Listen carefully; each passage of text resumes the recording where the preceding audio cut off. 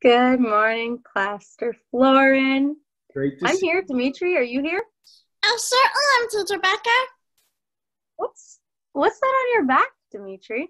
A cape. I'm Super Duck. I have superpowers, super strength, and invisibility. That's pretty cool, Dimitri.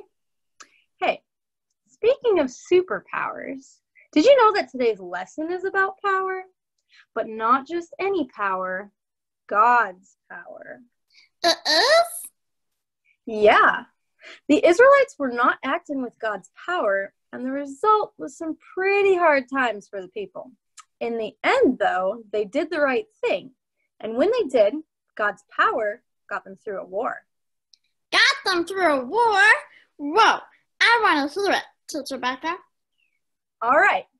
Well, our true story today begins in 1 Samuel 4. At this time in Israel, a man named Eli was the high priest over the Israelite people.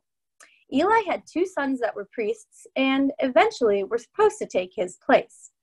His two sons began to disobey God's laws and disrespect God and his temples. Because he allowed his sons to keep sinning, God told Eli that his family would be destroyed. Soon after that, the Philistines and the Israelites went to war. When they met for the first part of the battle, 4,000 Israelites were killed. Things weren't looking very good for the Israelite army. So their leaders met together and said, Why did the Lord let the Philistines win? Let us bring the Ark of the Covenant from Shiloh so that he will save us from our enemies. Do you remember what the Ark of the Covenant was, Dimitri? I do.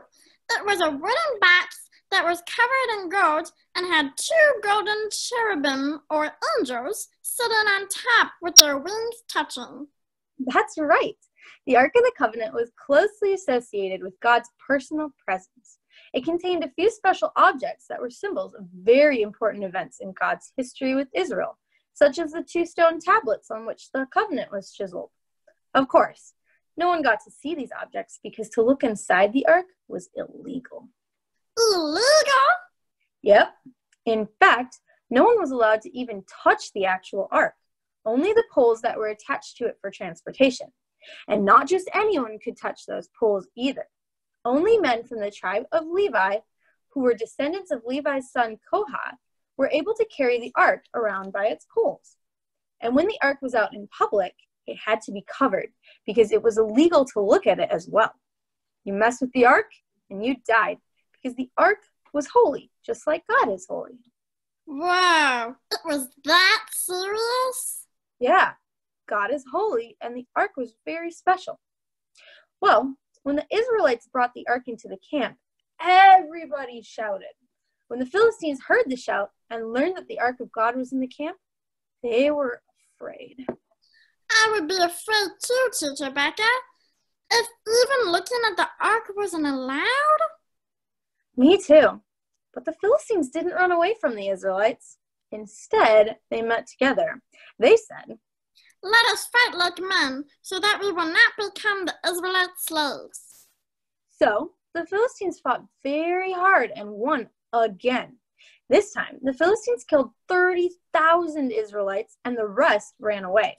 The two wicked sons of Eli and the priest were killed, and the Ark of the Covenant was captured. After this happened, a man ran to the Israelite town to an Israelite town called Shiloh to tell the news. When the people heard it, they started crying. Now, Eli the priest was sitting near the gate. He was now a pretty old man, 98 years old, who was almost completely blind.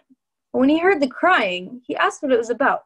So the man came to him and said, I ran away from the battle today. Eli asked him. What happened, my son?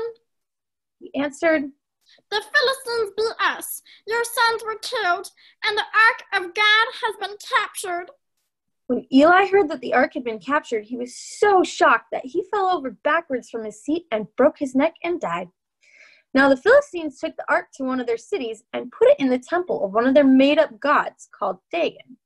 They thought they had captured it because he was stronger than the one true God, but they soon found out that they were very wrong. The next morning, when they came to Dagon's temple, they found that the statue of Dagon had fallen on the floor in front of the ark like it was bowing before God.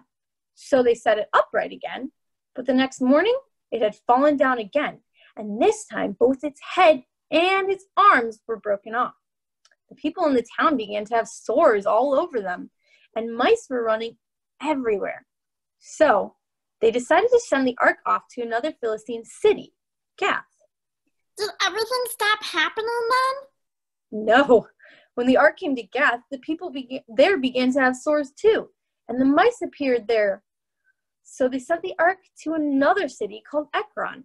But the people there started shouting, They have brought the ark of God here to kill us! Philistines realized that the power of the one true God was much greater than anything else.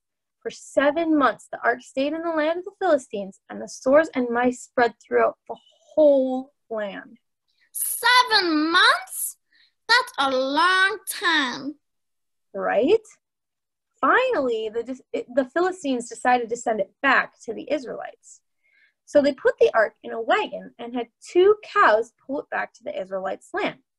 Now, after some time, a man named Samuel began to lead the Israelites, like Eli had. Samuel was a prophet, which means he would hear from God and give those messages to God's people. Samuel listened to God and followed God's plans for his life. So he told the Israelite people If you want to return to the Lord with all your hearts, get rid of your foreign gods and turn your hearts to the Lord and obey him alone.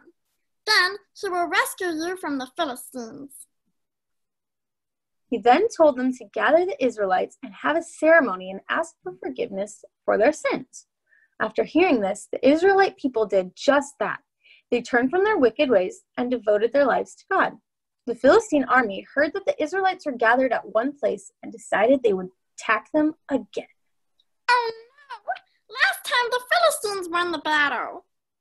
That's true, but this time God was on the Israelites' side. Just as the Philistines were about to attack, the Lord spoke with a mighty voice of thunder from heaven, and the Philistines were thrown into such confusion that the Israelites defeated them. Oh, that reminds me of our memory verse again. The Lord himself will fight for you. Just stay calm. Exodus 14, 14. Thank you. Good job. The Israelites repented their, of their sin and chose to obey God. And when they did, he fought for them. God's power is unmatched by anyone or anything. He loves us so much that when we devote our lives to Him, He tells us that He gives us that same power. He's given us the power to win any battle that we have. He's given us His Holy Spirit to guide us and comfort us through all our lives. That's so cool, Teacher Becca. God's power, huh? So, does that mean I can actually be Super Duck and I have super strength and superpowers? Well, Dimitri, God is all powerful, but it's only His power that works in us. We can't do anything without Him. But when we obey Him and the Holy Spirit works through us, we can do amazing things. God gives us peace even when things are super scary. And God's power allows us to forgive people, even when they've done really mean things to us. Well, I'm still gonna pretend I'm Super Duck, but I'm glad that I have God's power working me. If God is the one who fights for me, I want him on my side. Me too, Dimitri. Well, thanks for your help. I'll see you later. Bye, Teacher Becca. Bye, everybody. Bye, Dimitri.